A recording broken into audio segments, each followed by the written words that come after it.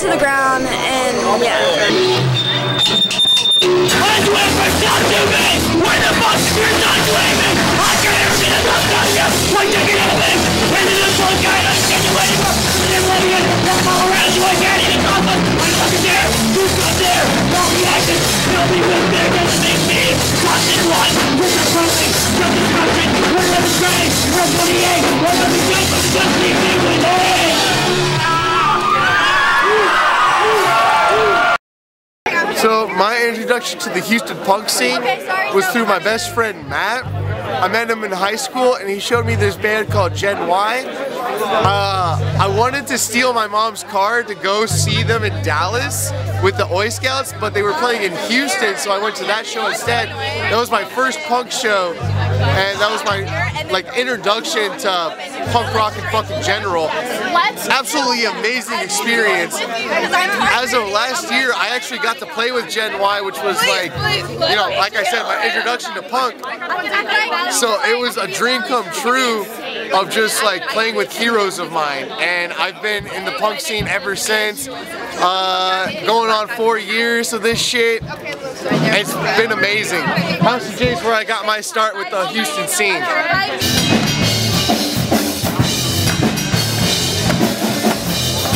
Um, so whenever I was around eight years old, my father threw me off of a mountain and shit like that due to uh like blood beef and shit like that, a blood feud and shit. But whenever you threw me off, I landed in the middle of a fucking Mexican coke pit.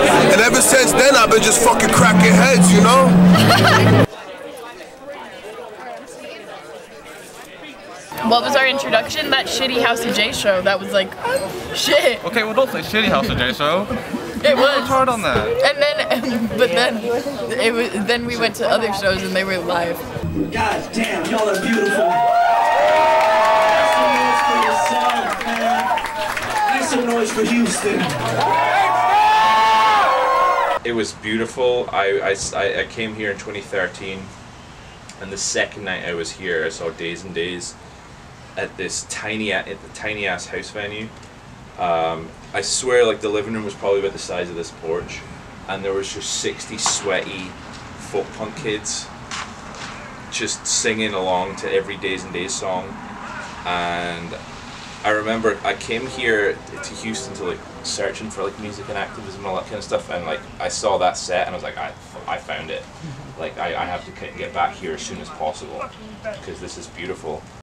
I can no longer ignore you! You're a piece of shit just like your father! Take us both away! You're not family to me!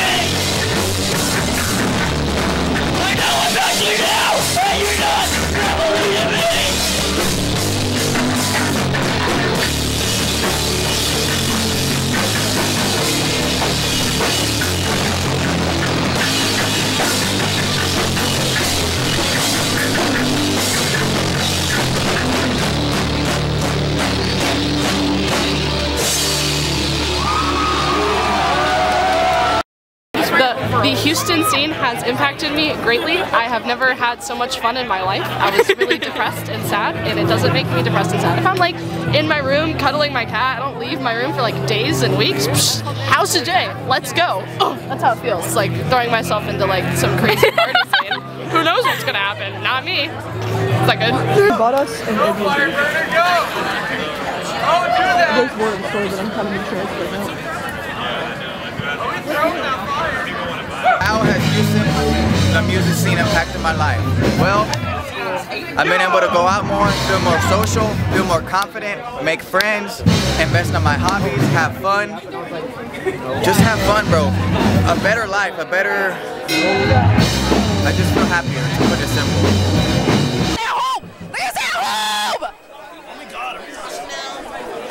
I just feel more inspired. I feel more creative. I feel way happier with my life. I feel way more content. I feel like I'm actually making creative stuff instead of just making bullshit that's just not for me. I feel like I'm actually having friends that I enjoy talking to. It's fun as shit, man. I think I would have I would have I don't think I would have been here if like I didn't get back into the scene. I don't think I would have been as happy. I don't think I would have found my escape if I wasn't here. So it's just one of those things, and it makes me happy.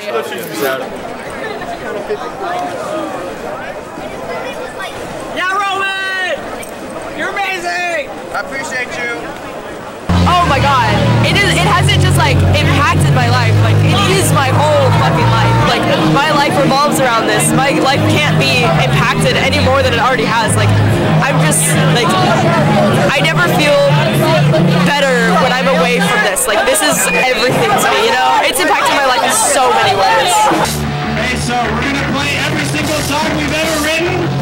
It's gonna take five minutes. Met a lot of cool people.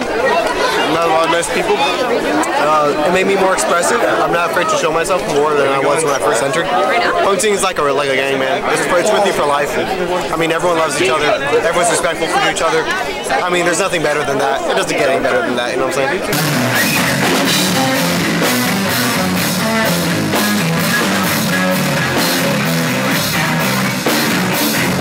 Music scene has impacted my life uh, significantly. Um, I don't think I'd actually be like the human I am today without the love and like respect that the people have in this community. Um, without it, I think I probably would have most likely killed myself. Yeah. Yeah.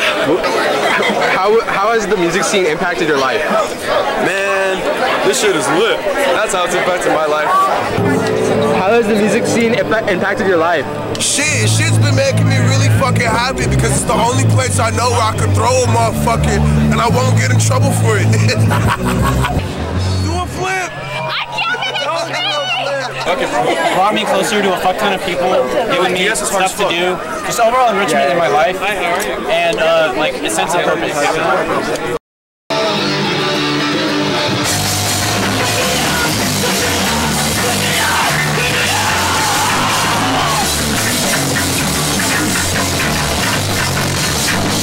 My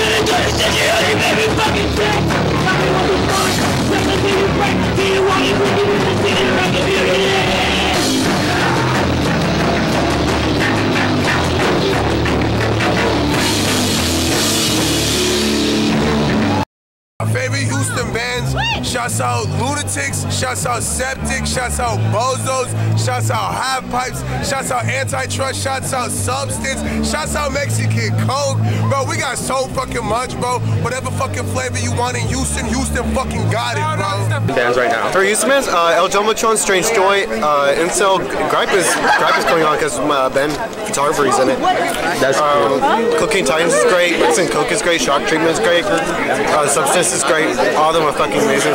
Check them out. Or he's doing uh, support their Bandcamp, uh, is, is, uh, buy merch, buy zines, do whatever you fucking want.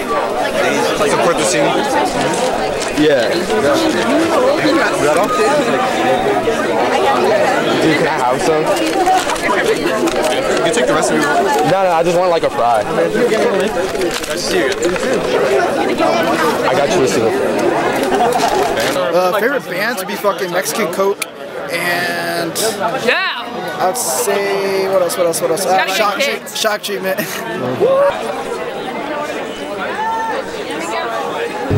Probably Pinky Promise. I love Pinky Promise, and I think they're all really cool. So